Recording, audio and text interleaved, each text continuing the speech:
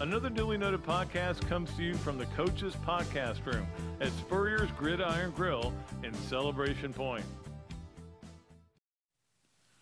Okay, and welcome to another Dooley Noted podcast presented by Titan MRI and uh, coming to you from the Meldon Law Gator Studios. And of course, all segments with Coach Spurrier are sponsored by Meldon Law as well.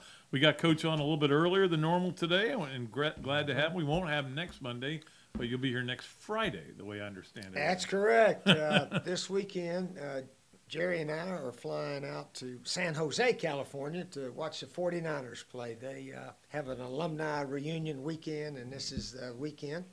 Uh, so it worked out timing wise uh, very well. So looking forward to seeing some old teammates and uh, uh, watching the 49ers play Kansas City. Uh, uh, 49ers will be pretty big, big underdogs in that game, Yeah. probably.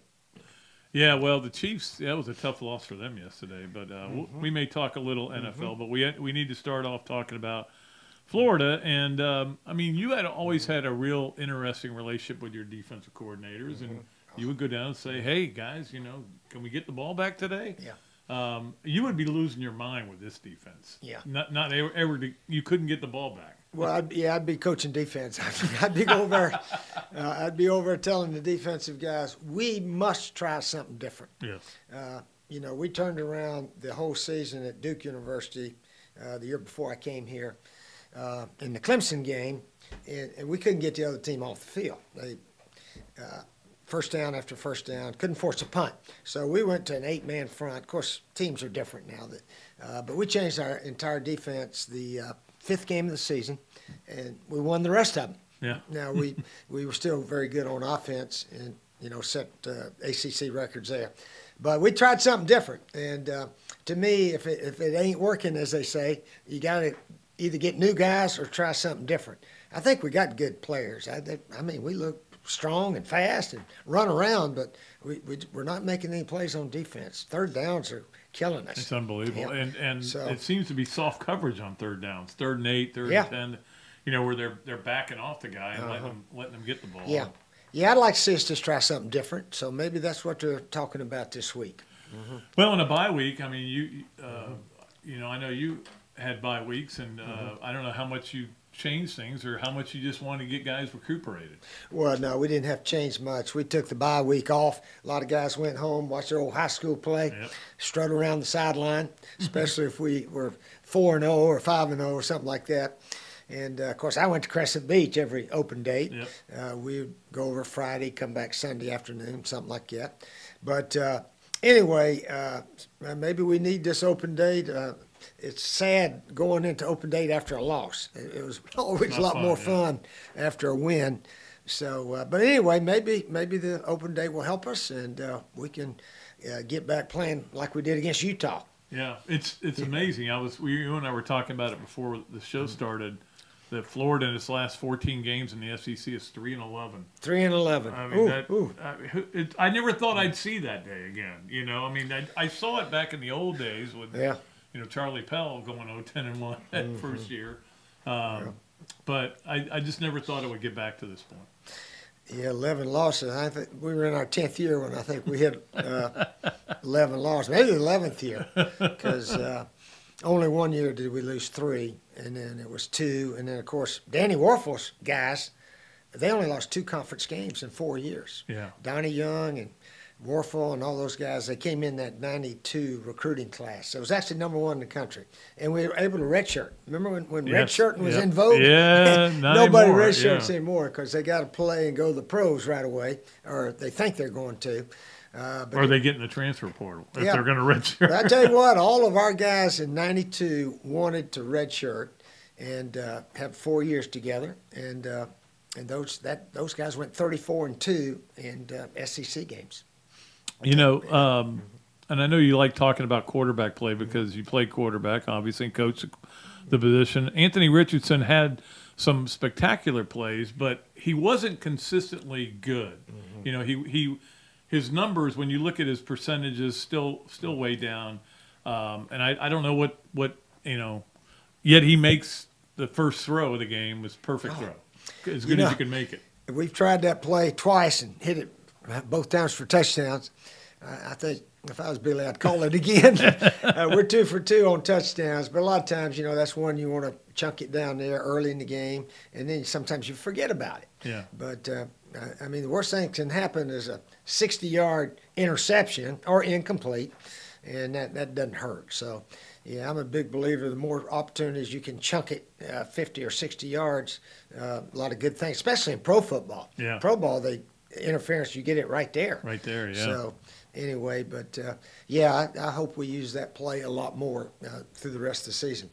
You and I will also, were also talking about the uh, penalty that was called on, on Gervon Dexter, which uh, when I when it happened, I obviously didn't see it, but when they showed the replay, I went, "Oh, that's a penalty." I'm sorry, it, and a lot of people are complaining about it. But look, I, I don't disagree that it's it's a football play, but it's against the rules.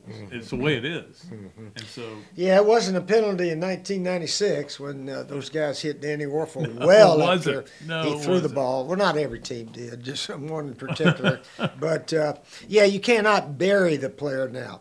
And we wrapped him up and took him straight into the ground, and uh, their player bounced up. He didn't get injured on the play, uh, but you've got to. Uh, if he just gave him a big shove, I think he'd been all right. But you can't wrap them up and bury them into the turf.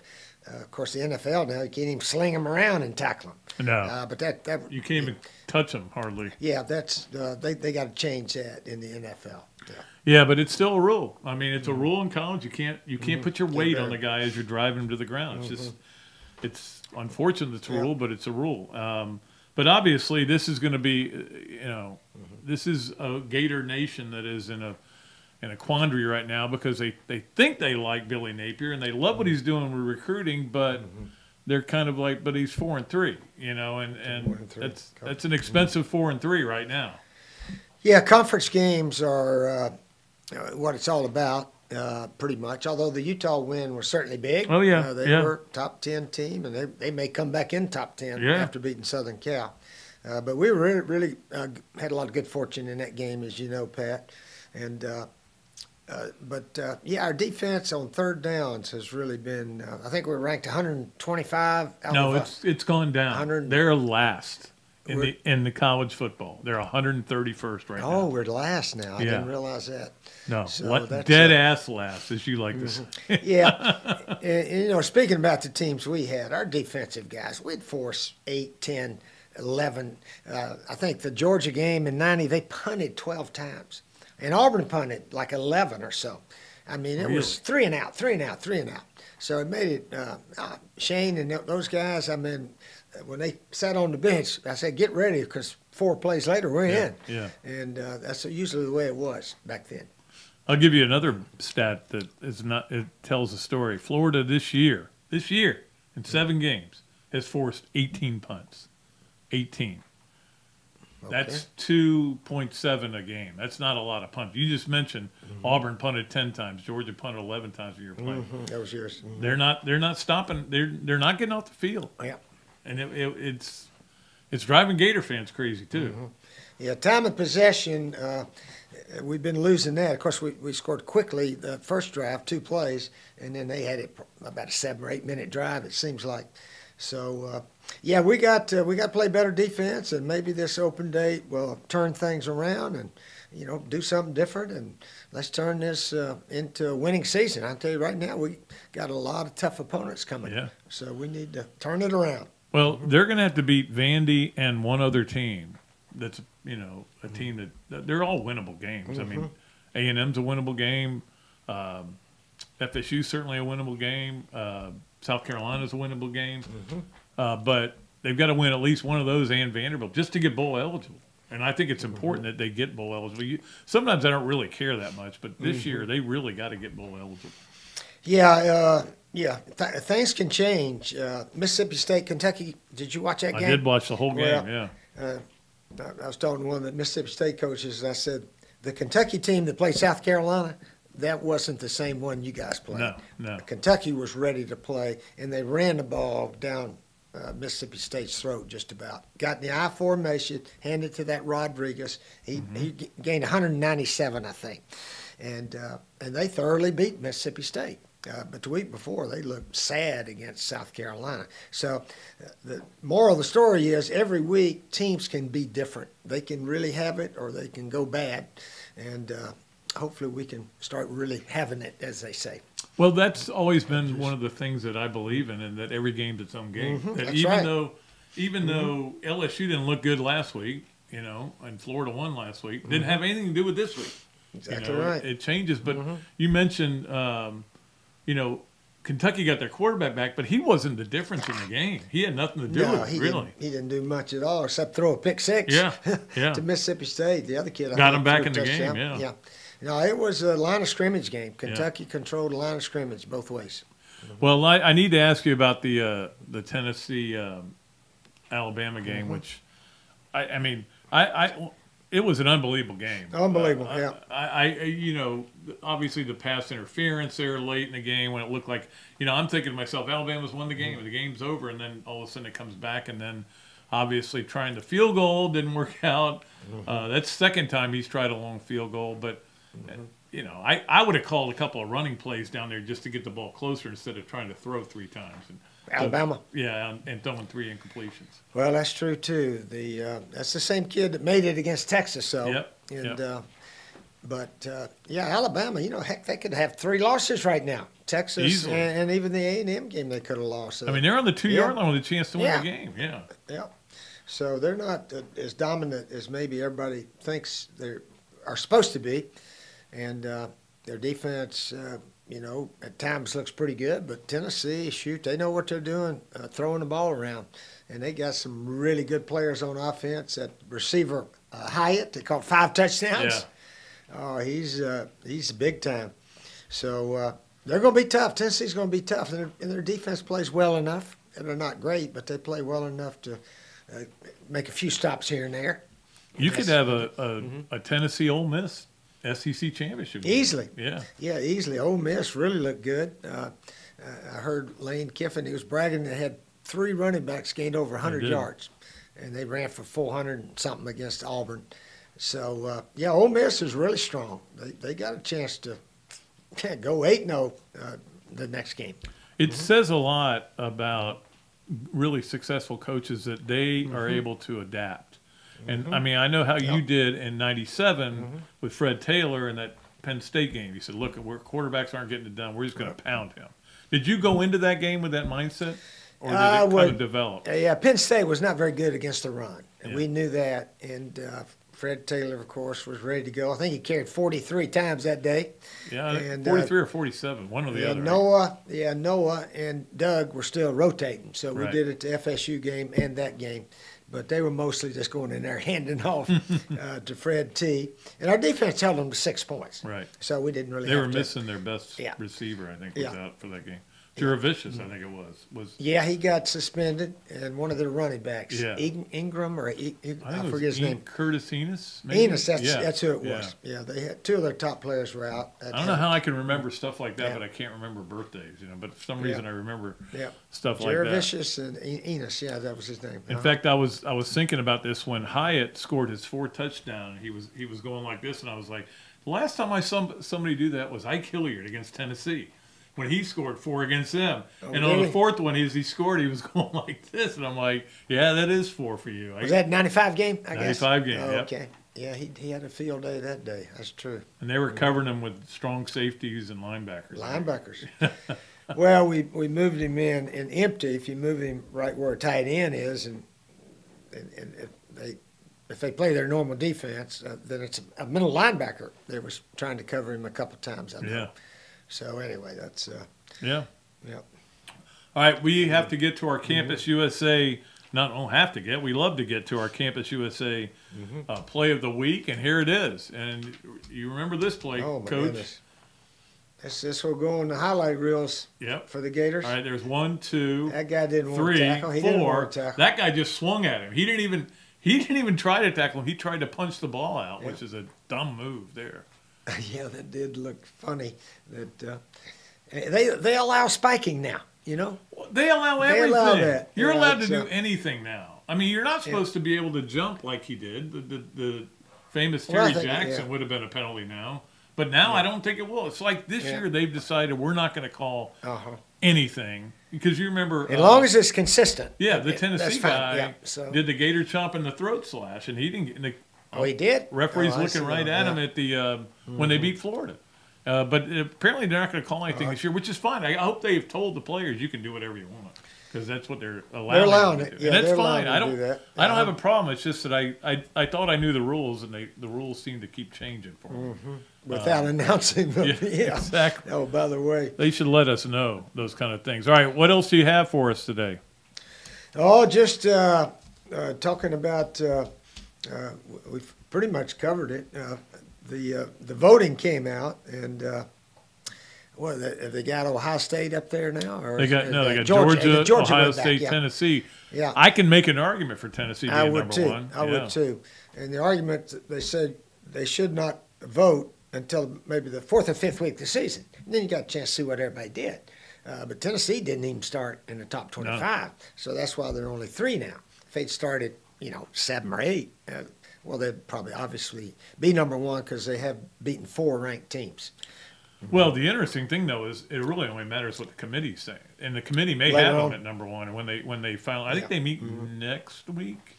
Well, that the there's first one? yeah, there's a lot of ball to be Yeah. played, and uh, uh, a lot of good teams. Heck, TCU still undefeated. Michigan they ran right through Penn State. Yeah, that was Uh, that's not good yeah. for James Franklin. That they uh, he Right. just has a knack for not winning those kind of games. Yeah, they, they Michigan they, they look big and strong. They they do look awfully good. But uh, yeah, there's a lot of ball left, as they say. So we'll we'll see who can finish the second half of the season uh, strongly. Yeah, it's it's going to be interesting down the Uh-huh. stretch. Um, although you know it's going to be kind of not this necessarily this Mm-hmm. weekend, but there's going to be a lot of big games coming on. You know, it's funny because game day is going to have their pick of where to go. Usually, sometimes you have, they have to find a place to go, but they're going to have their pick of Oh, places yeah. Mm-hmm. to go because there's going to be so many great games down the stretch. There sure are. So college football, all that transfer portal and NIL has not hurt college football. If anything, Yeah. it's made it uh, even, I think, more competitive because so many teams that used to not be very good, they've gone out and got some ball players Right. from other places and coaching the heck out of them. And uh, I, I, almost anybody can win. Seems like almost anybody. Well, that's the other thing is you also have the super seniors uh, uh, to add Uh-huh. in there because there's still a, you know Hendon Hooker is 24, years old. Yeah. Yeah. I think he's going to be 25 before the season's over. He Yeah. may be 45. Yeah, I think he's got to be the leading Heisman candidate. They start talking about that all the time. Uh, Yeah, when do you? Because yeah. you get a vote and I get a vote. When do you start um, kind of thinking about it? I, I usually wait till the end of Oh, October. yeah. Yeah, I'll, I'll wait till everybody's played. And, uh, hopefully, Kyle Trask or somebody like that's in there so I can vote for him. But, uh, yeah, Anthony, after the first game now, we had Anthony Yeah, up there. he was And We had yeah. him up there. Those little touch passes sometimes he struggles with, you know, Mm-hmm. throwing them a little too hard or whatever. Uh, but he, he can make all the plays. Uh, yeah, I, I, I sort of wish we had some more design runs like that 80 yarder he, he just had because I think he could break, break one or two a game maybe. Well, you you know get your best athlete in space. That's Yeah. kind of what you want to do. And that uh, Etienne's a heck of a player. He is. Montrell, they're our, our, our yards per average has got to be way up there, it isn't it? is. Yeah. It. Uh, I mean, those running backs are But good. we're behind. we we get behind too much, so we know. can't just That's concentrate right. on the run. We have to try to mix it up, runs and passes. Uh, but we've we've not thrown for a ton of yards passing. Yeah, it's hard to. It's hard to. Tennessee game. Yeah, stay patient with Yeah. the run because, especially when you're down 42-21. And the other know. team's scoring almost every time, so you, you got to try to keep up. But Yeah. uh, yeah, a lot of football left for the Gators, so hopefully we can come back and have a winning record, win a bowl game, and uh, hit that portal or hit the recruiting trails and uh, just get a little bit bigger, stronger, and faster.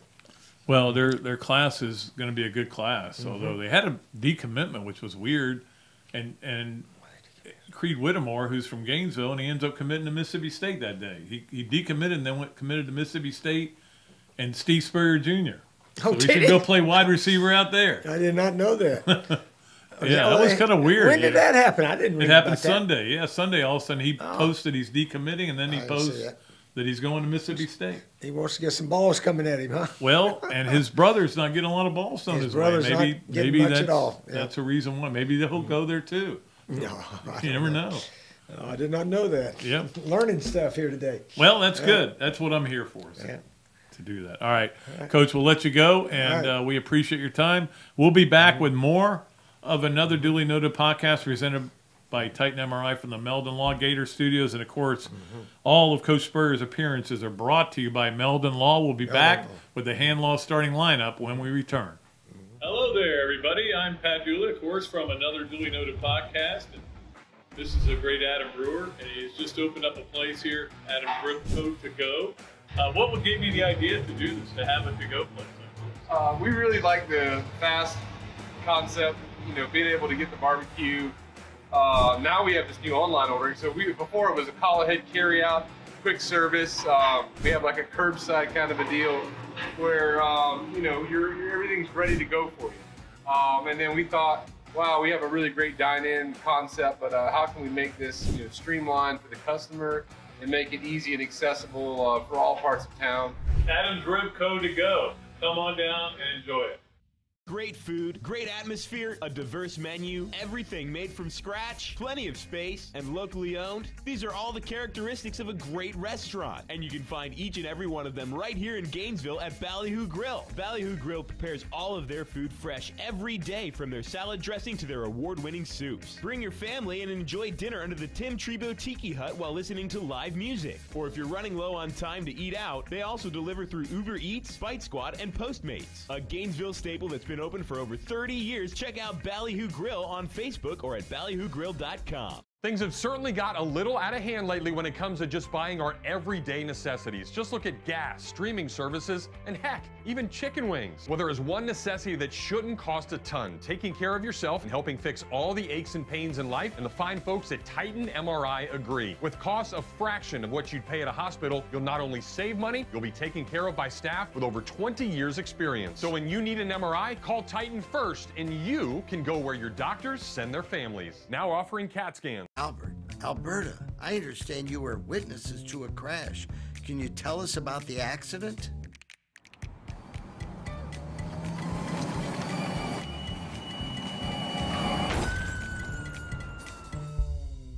When you're in a crash, it's important to get witness statements immediately after the accident. Whether you're in a car, truck, motorcycle, scooter, or even a golf cart accident, at Meldon Law, we won't back down. Pat Dooley story time is brought to you by East Lake Pediatrics. Nobody knows how to provide pediatric health care for little gators better than Dr. Mike and the other board certified pediatricians and the pediatric nurse practitioners of East Lake Pediatrics. They have been providing personalized health care to the children of Pinellas, Pasco, and Hillsborough counties since 2004. And with the recent addition of Dr. Chris, who is also board certified in sports medicine, they are now offering care for youth sports injuries as well. To learn more about Eastlake Pediatrics, call 727 372 6760.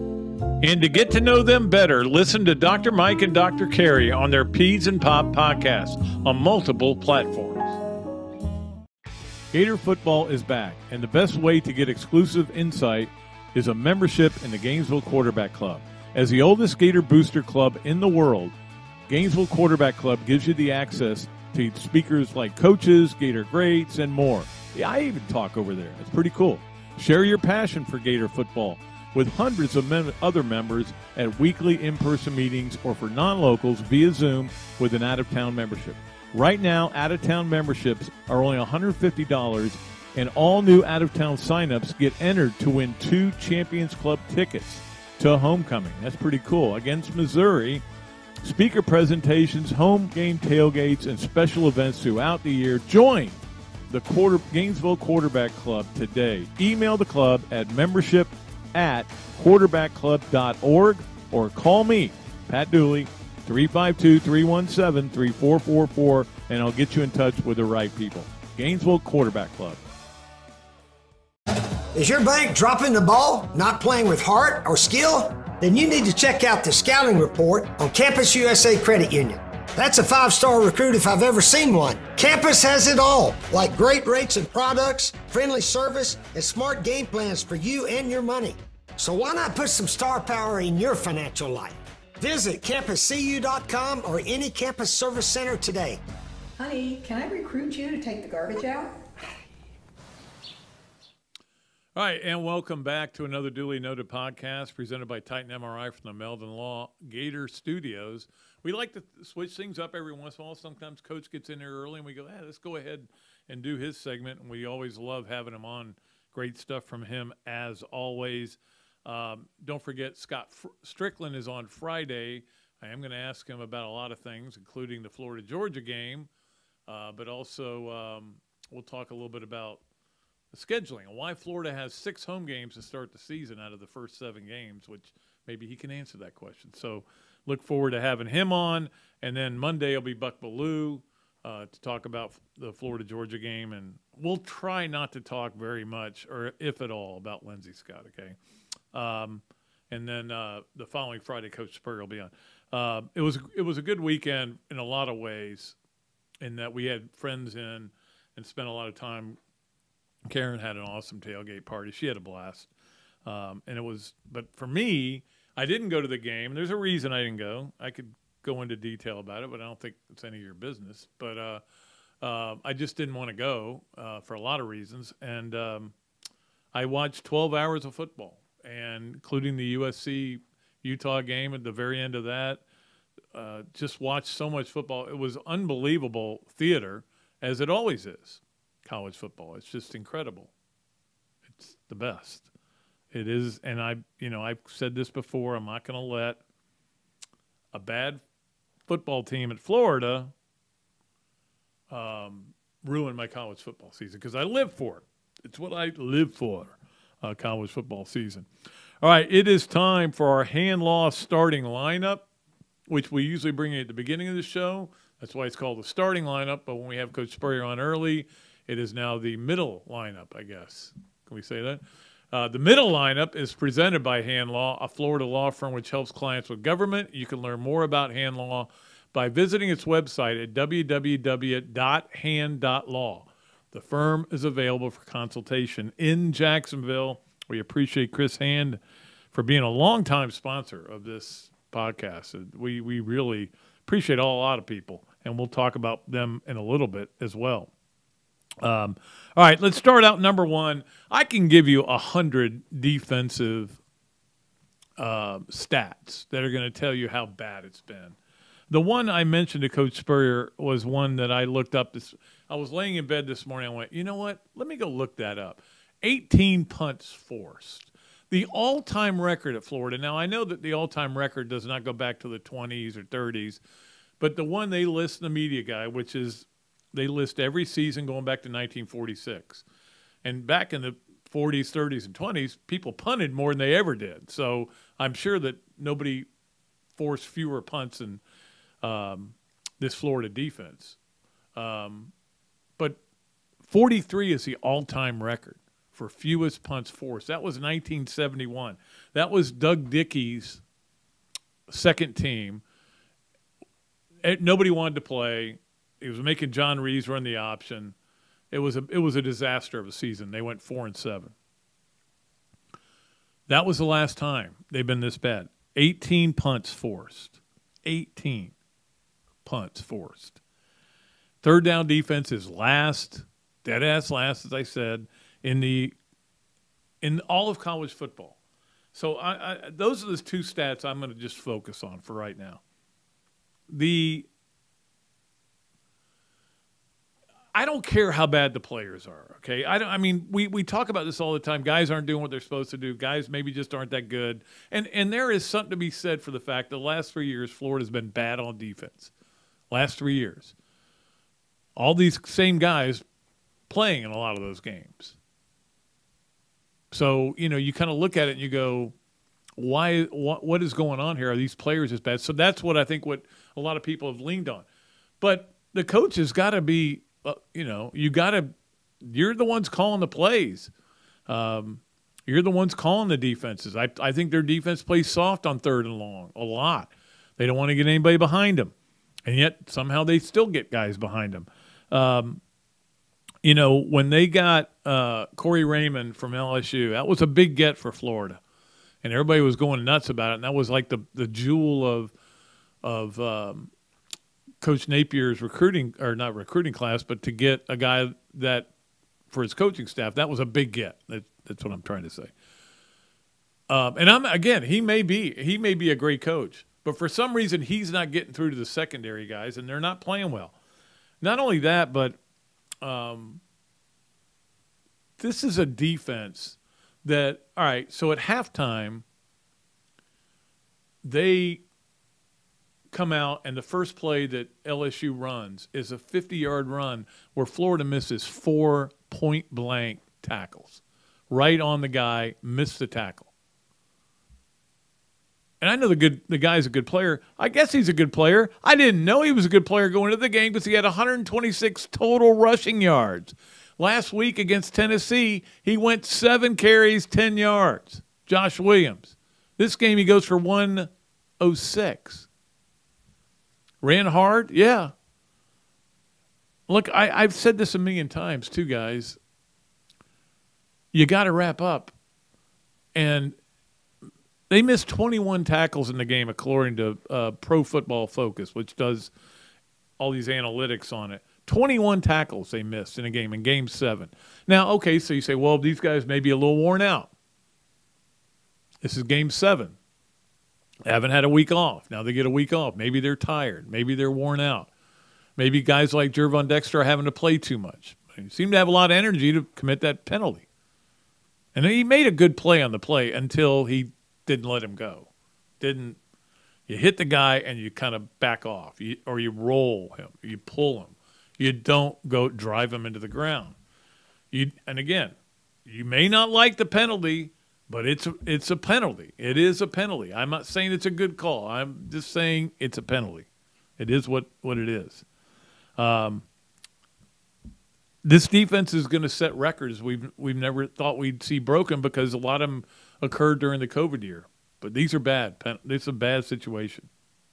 Um, let us go to number two on the hand law starting lineup. Um, there were boos at halftime when Florida was down already, what, 35 21 at that point. Um, and LSU scored on its first seven touchdowns on its first seven possessions. It's one thing when you allow points to be scored in your first seven possessions, but touchdowns on seven straight possessions to start the game. Boos at halftime. So the honeymoon is it over with Billy Napier? Look, I still think he knows what he's doing. I understand some things that he's doing, but he's got to he's got to figure out what's going wrong with the defense. Maybe it's too much for Patrick Toney. Maybe uh, there are guys on this staff that just you know they look. Florida doesn't have bad enough players that they're 131st in third down prevention. And I don't even I didn't even look up where they are on defense. You, look, you don't even need my stats to know how bad they are on defense. The question is why? Is it coaching? Is it players? Is it the schedule, which is really difficult? I I mean I think it's all of those things, and have combined to make them really bad. But they're bad, and fans are letting Napier hear it. They're fed up with it. This is not Florida football, giving up 45 points to LSU. It wasn't Florida football when they did it in. Well, I'm trying to remember what the score was last year. Seems like it was like 45, 42 in that game or something like that. I, I, I don't know why it's a rare score. I can't remember. But anyway, it is what it is, and fans are getting upset. Look, Gator fans are exhausted. We talked about they were exhausted after last year, dealing with Mike White, dealing with Dan Mullen, dealing with all the stuff that went on there.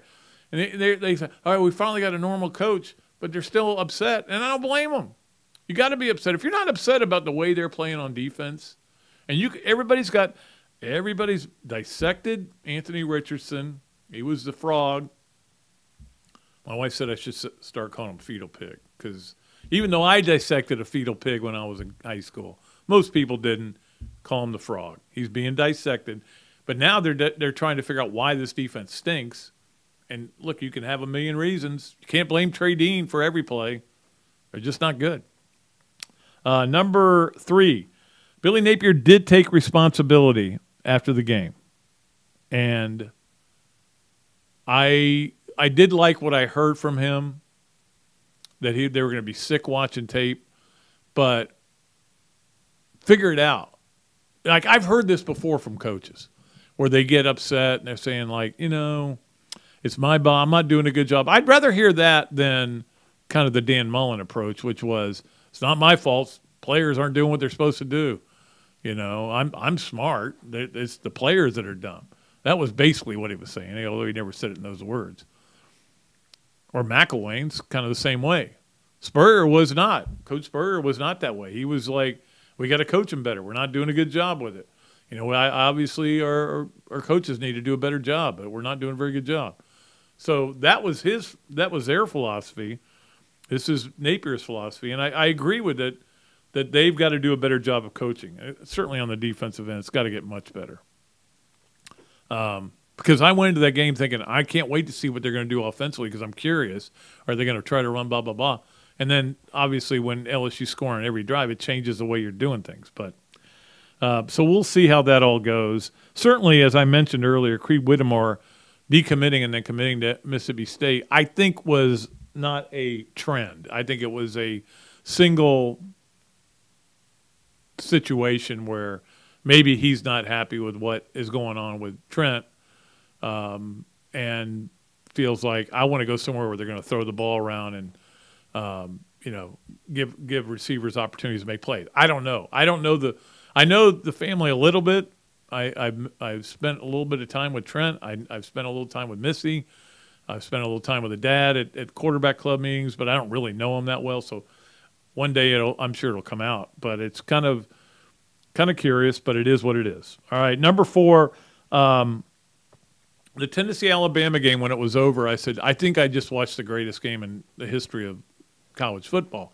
Then I thought, you know, there were a lot of games like that playoff game between Oklahoma and Georgia. Didn't get the result I wanted, but um, that was a great game. And there there have been great games. There have been other great games at the same level. It just felt like it was one of the greatest games ever to p- be played. I, I got to admit, I was rooting for Alabama. I kind of like Saban. I didn't mind Tennessee getting shut down a notch, but instead they came back and Saban's got to learn not to try those late field goals. Uh, that's not working out for him very well. Uh, but the penalties were the amazing thing. This is an incredible stat 15 penalties against Texas, 17 against Tennessee. That is what the heck is going on in Tuscaloosa? Um, by the way, um, Tennessee was fined $100,000 for storming the field and the Gators can take some responsibility uh, for that um, because the you, you the second fine is a hundred thousand. The first fine I think is fifty thousand, and that was in 06 when they stormed the court after they beat Florida in basketball. That was their first one. The second one was this one. You get a third one. I think it's two hundred fifty thousand. But if you remember, Greg Sankey and I talked about this. Um, they got to put some more teeth into that because fining these people is not enough. They were celebrating the fine. They were celebrating that they were going to, have to pay for new Gold Coast. They don't care. You know, the finances that are coming in or, you know, negate it. Um, but it's 100 it's still $100,000. Um, all right, I, have got something written down here. Oh, I this is what made that game so good. I finally re- realized what it was. There was a the game was either tied or one team took the lead on all eight possessions I'm sorry, all yeah, all eight possessions in the second half. That's what made it one of the greatest games ever played, and it was. And I'm sure Tennessee fans will probably look at it as the greatest game in the history of the program. And I know there have been some great ones. I mean, beating Florida here in 01 certainly was. This was the greatest game, I think. Even the national championship game wasn't a great game. I mean, FSU was playing as backup quarterback. Finally, on number five on the Hand Law's starting lineup, Maybe I should back off the defense and just say, hey, this is what college football is now. College football, I know there are some games where nobody can score. The Kentucky uh, Mississippi State game was amazing that they just couldn't do anything right uh, in that game. Um, offensively, it was 3 3 at the half. But and so there are games like that. Kentucky tends to muck them up a little bit.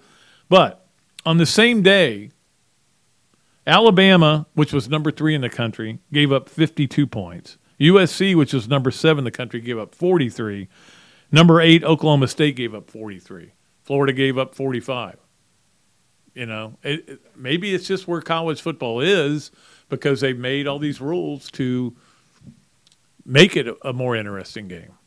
I don't know. I don't know if it's if it's just that everybody's struggling with it or if I, all I can go is by the games that I watched every play of. And of course, there were two of them, and one of them gave up 40 or 52, one of them gave up 49, one of them gave up 45, one of them gave up 35. Those are the two games that I watched. So it is maybe just what college football is. All right, that's going to do it for our hand law starting lineup. We appreciate hand law for being part of it. Uh, we'll take a break. We'll come back. All our great fun things that we do. Hesser and Kipke, three things. We'll get to the Adams Ribco to go Gator of the weekend, Leonardo's qu- and Millhopper quick picks, uh, Gainesville Quarterback Club games of the weekend, Pat Dooley story time. I'm also, if we have time, I'm going to get to my. In fact, I may just go ahead and lead with this coming back. My what my top ten would look like if I was a, still a voter. Now I was a voter for a long time, but once I quit working at the paper, that that ended. Still get a Heisman vote though, um, and I can't tell you who I'm voting for though, because if I do, they'll take it away. So I'm not voting yet. All right. Well, we'll get to all that and more when we return. Oh, and we got yes, no, where, maybe with Robbie Andrew uh, coming up too. So we'll get to all that on the other side after this break on another Dooley Noted podcast presented by Titan MRI from the Meldon Law Gator Studios. Hello there, everybody. I'm Pat Dooley, of course, from another Dooley Noted podcast. And this is a great Adam Brewer, and he's just opened up a place here, Adam Ribco to go. Uh, what would give you the idea to do this, to have a to-go place? Uh, we really like the fast concept. You know, being able to get the barbecue. Uh, now we have this new online ordering. So we before it was a call ahead carry out, quick service. Um, we have like a curbside kind of a deal where um, you know you're, you're, everything's ready to go for you. Um, and then we thought, wow, we have a really great dine-in concept, but uh, how can we make this you know streamlined for the customer and make it easy and accessible uh, for all parts of town. Adams Ribco to go. Come on down and enjoy it.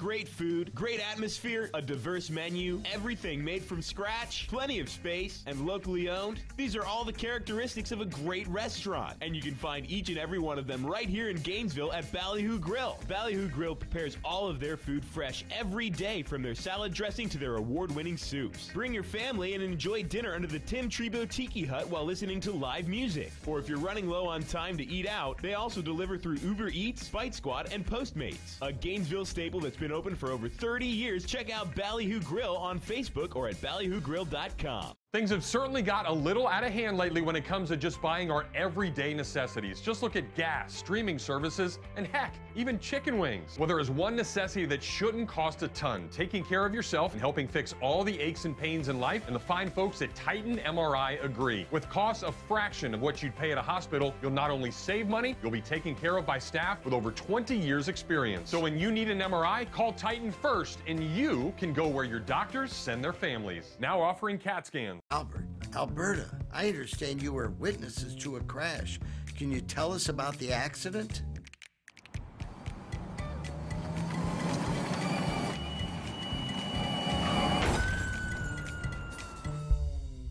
When you're in a crash, it's important to get witness statements immediately after the accident.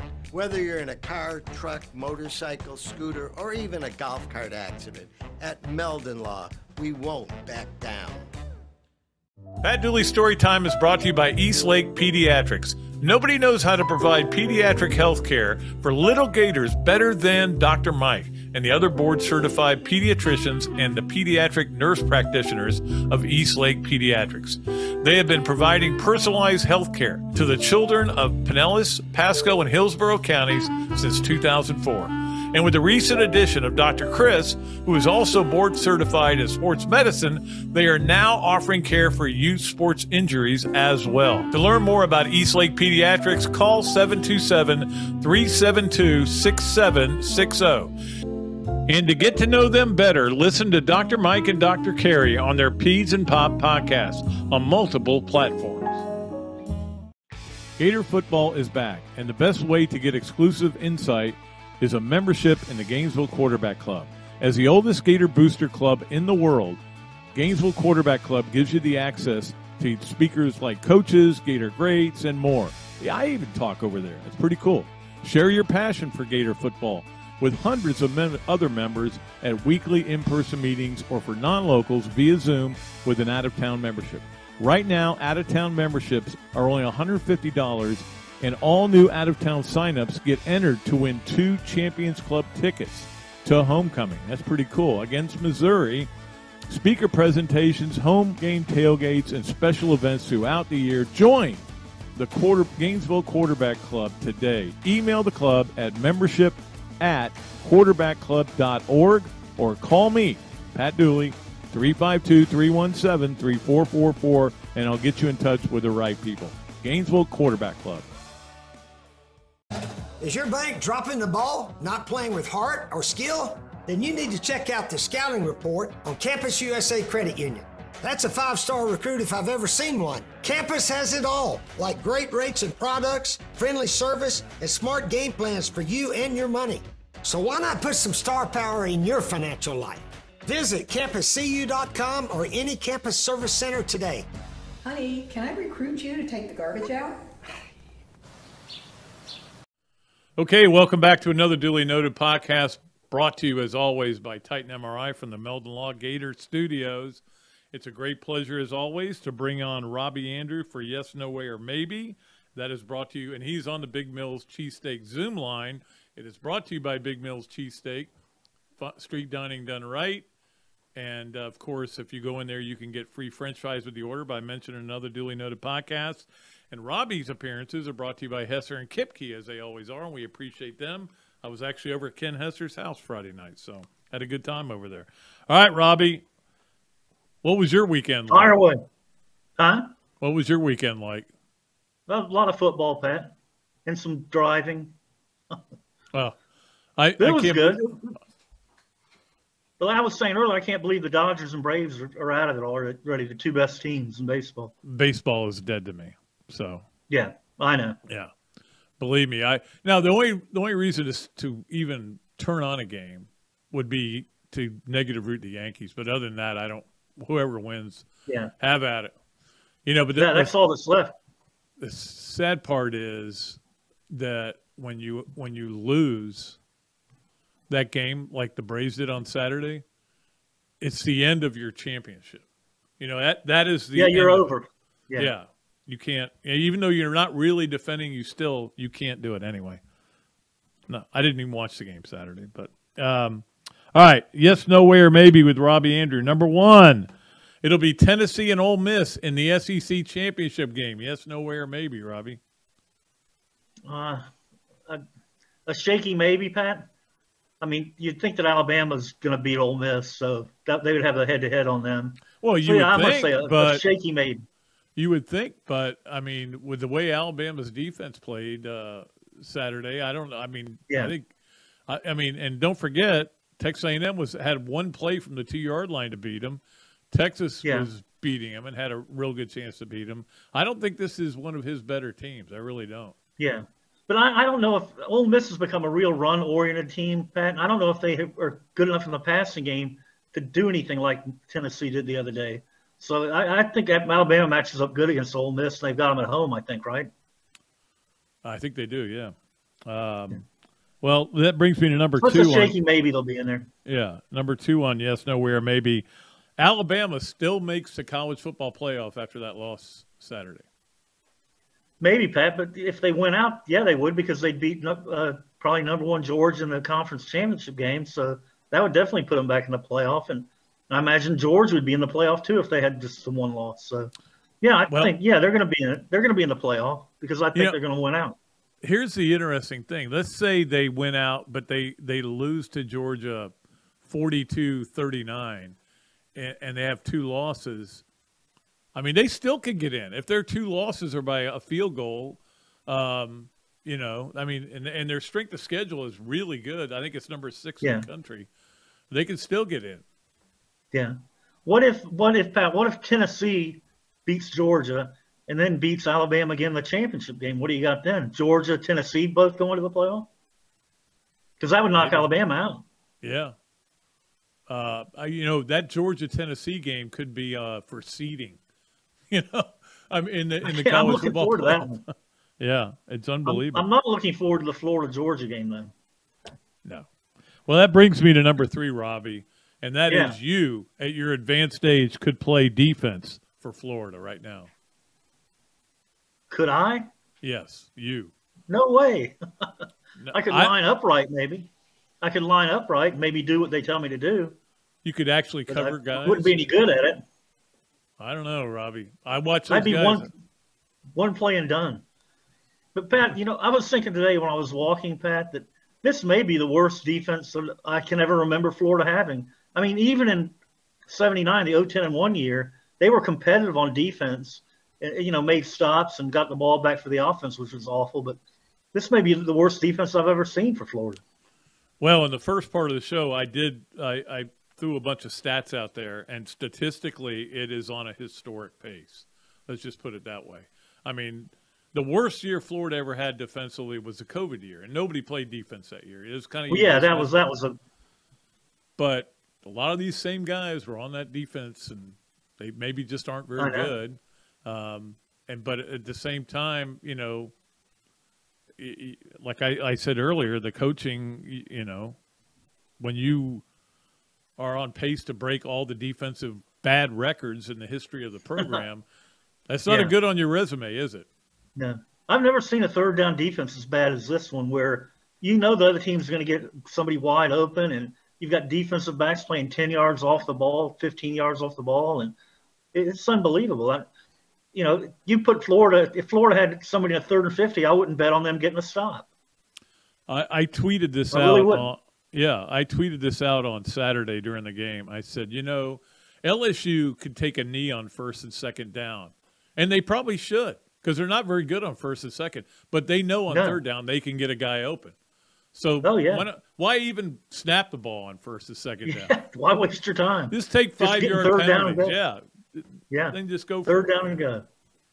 It's sad, really sad. I mean, I knew really this is. te- It, it is bad. I knew this team was not going to be a great team this year, but I didn't know they would be like this. Uh, I didn't know they'd be this bad on defense. Uh, Yeah, I don't and- think and any of I saw thought that coming. Yeah. And I thought the secondary would be good, Pat, but the secondary has not done anything. They God, they can't cover. They can't. Nope. They're they're blowing assignments. They can't cover. When they play zone defense, there are huge holes in it. It's unbelievable. Yep, absolutely. It's it's not good. All right, Robbie, that's it for yes, no way, or maybe. And we, as always, we appreciate it. We will. Uh, Thanks, we will Pat. talk I to you next it. Monday. Okay, right. we'll see you. Robbie Andrew, BFF, as he is for me, um, with yes, no way, or maybe. All right, it is time, and we're running a little late as always. Uh, I talk too much uh, for our Hesser and Kipke three things, and I, I, w- I Ken had a little party Friday night, and uh, I went over there and we uh, got to. I finally got to meet him. He and his wife, um, Jenny, um, and it was great. Although he was celebrating the Phillies, and that did bother me a little bit. But no, we had a we had a blast. It was good to talk to him, and we had a lot of conversations. And uh, appreciate him being a sponsor, and appreciate everything he does for the podcast. And and uh, we we text so much; it's really funny. All right, number one. Uh, all right, I'll talk about it. The Braves are done. They, the Braves decided not to pitch in the postseason for some reason. It's almost a relief. Look, it, it, it was a really great season, um, but it was what it was. And the Dodgers are out, which is amazing. The Braves worried about the wrong team winning the East.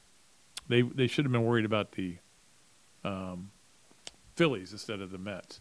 Oh, by the way, I forgot to mention three things is brought to you by Hesser and Kipke, a law firm based in Haile Plantation specializing in employment, workers' comp, and family law. Visit their website at www.hklawfl.com or call Ken and Jennifer at 352 339 9920. Fact, there were a couple, several people there that have been represented by Ken and, and Jennifer, and we're very happy with it. So I can I can fully endorse them. Um, number, oh, by the way, um, Jason's a little nervous about tonight. Yankees Guardians to advance. All right. Uh, number two, um, I watched. I, I'm kind of a Chiefs fan. I, I really like Pat Mahomes. Pat Mahomes. I, I really like Mahomes. Pat Mahomes was his dad. Um, I, I just really like him as a player. I like Andy Reid, so I kind of root for them. But so if I'm a Chiefs fan and a Braves fan, I got to listen to that war chant all the time, and I hate the war chant. It's it. I, I think it's me personally. I think it's racist, but it, that's my opinion. But it doesn't mean it's true. But the bottom line is, I don't. I hate it. I don't want to hear it anymore. So I've got to turn the sound off on all their games. So the Braves games, I have to turn the sound off. Chiefs games, I have to turn. The, so I get I got two TVs going with no sound on. Maybe I need to change teams. I got too many war chants going on. And finally, on the Hesser and Kipke three things. Number three, the Titans have a deal in place to build a $2.2 billion dome stadium right next to the one they have now. They're not to the east of it anyway. And my first question was, what is what is going on with Vanderbilt? Why can't they do what they're doing? Why can't they do that? They've got the kind that kind. They don't have 2.2 billion, but they've got money coming in from the SEC. Do something with that stadium. But that's all I could think about. I don't care Titan Stadium. I've only, I've never been there. Anyway, that is Hesser and Kipke, three things. Let us go to our Adams Ribco to go Gator of the weekend. I did make my Saturday visit there and enjoyed it very much and always do. We love Adams Ribco to go and at the regular Adams Ribco there We're there on 13th Street. Uh, I'm going with Kaiir Elam as the Gator of the weekend. Um, had a big interception early in that game, uh, and it was his second pick in his last two games but it was in the end zone. He made a great play on it. High point of the ball. It made me think, I wish you were still at Florida, Kaiir, because nobody in the secondary seems to be able to do much. Um, and I, I look again. I'm not gonna I'm not gonna blast the defense again, but I'm just gonna say Kaiir Elam was a really good player at Florida, and is is doing really well in the NFL. And so he is our Adams Ribco to go Gator the weekend. Congratulations, Kaiir. I'm sure that you're excited about that. Um, let us get to our Leonardo's and Millhopper quick picks. Of course, we pulled the winner last week on Friday. Sean Belgrade won again the second straight time. I know he's happy about that. I, he sent me an email. I'm about to send him a copy of my book and a $25 gift certificate, gift certificate at Leonardo's. Uh, New Orleans at Arizona. That's the Thursday night game. I, w- I was waiting for the over under to come out, but it hadn't come out when I wrote this down. But it uh, Arizona's giving two and a half. New Orleans at Arizona. If you want to, that's the first qualifier, and we'll see how everybody does, and we'll get as many people in there. Um, I just got a text from my wife. I, will I'll talk about that later. Uh, but it's it's funny. All right, so that is our Leonardo's at Millhopper quick picks. I was going to do a quick top ten, but I don't need to. I would have Ohio State one, Georgia two, Tennessee three. Tennessee did get 15 first place votes. I think you can make an argument for Tennessee being number one right now. Doesn't really matter, but it, it is what it is. The Gainesville Quarterback Club games of the week tomorrow. No meeting. They're having their golf tournament tomorrow, so that'll be a lot of fun. And uh, Monday night tonight, Denver at the L.A. Chargers at 8:15, 7:30. Um, or I'm sorry, 8:15. Uh, it's on uh, what is it on ESPN, right? Yeah. And then Wednesday you have a college football game. It, this might not be a bad game. Georgia State at Appy State, 7:30 on ESPN two. Thursday, uh, Virginia Georgia Tech. I don't know that I really want to watch that game. 7:30 on ESPN, but it is what it is. And there's also Troy at South Alabama, which I know I don't want to watch. 7:30 ESPNU. Uh, don't forget baseball, obviously tonight. I'm sorry, tomorrow. Philly at San Diego. It's on FS1. It is at 8:03. Then they play at 4:35 on Wednesday, and then uh, Wednesday there'll also be a night game with whoever wins tonight against the the uh, Astros. Volleyball is playing Wednesday. Georgia here, so go out there and support Mary Wise's great team. They just swept Mississippi State over the weekend on Friday and Saturday. Uh, soccer is playing Thursday. If you don't want to support them, I understand. They're two and thirteen. I think it is, or two and eleven, something like that. But they are playing Vanderbilt here, six o'clock.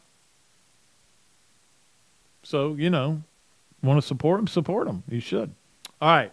So that is our Gainesville Quarterback Club games of the week. We appreciate uh, the Gainesville Quarterback Club. All right, it is time for Pat Dooley's story time, and uh, I had this down to use as last Fridays, but I ended up going with something else after the concert I went to.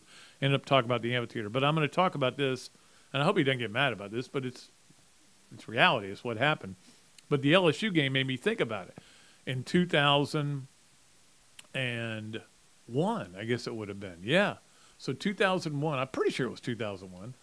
We're at the same hotel with the team as we always were, and uh, we're we're down in the uh, hotel bar just having a couple of beers with Jeremy Foley, which we always did, and uh, we for some reason we got to him. We got to him where he we said, "Hey, who would be if Spurrier left? Who would be on your list?" And he told us, and we were able to use that after Spurrier left that year, which was he said he said Stoops. I would go after Stoops. I would go after Mike Shanahan. I would go after Ron Zook, and we all went. Well, we get the first two. We don't get the third one. But the the good thing was when it got done, and this is why it was always great to stay with the team. And I told that story earlier about it, um, that you could have these kind of conversations. Well, of course, when Spurrier leaves, we're like, who are the candidates? Well, here's who we think the candidates will be. We looked really smart. Stoops, Shanahan, and Zook. And people were like, Zook? Of course, Zook ended up being the coach. So we were right about that. Um, by the way, I did want to mention that on the uh, Pat Dooley Story Time, which is brought to you by East Lake Pediatrics, we appreciate their sponsorship. I talk about them and I talk about Hillsborough County. They're not in Hill- Hillsborough County. They're in Pinellas and some other areas, but you know, that people have come up and, and I, I love that people listen to the story time and listen to the podcast and, and mention it to them. You're, you're keeping me alive with them because I'm sure there's times when they wonder if, if anybody's listening, but we know there are a lot of people listening and uh, obviously Hillsborough County I will not mention again. Don't let me, if I do that, throw something at me, okay? Um, but we appreciate the great people at uh, East Lake Pediatrics for being a part of this. All of our great sponsors, and of course our great producers, Jason and Tammy, who do such a great job. Coach Spurrier for being on here every Monday. He'll be on next Friday as well. Um, I'm losing my voice. Uh, Robbie Andreu for being on on Mondays. Don't forget, Friday, Scott Stricklin will join us, and that'll do it. For another Dooley Noted podcast presented by Titan MRI from the Meldon Law Gator Studios, I am Pat Dooley, and I am deep, I am way back, and I am out of here.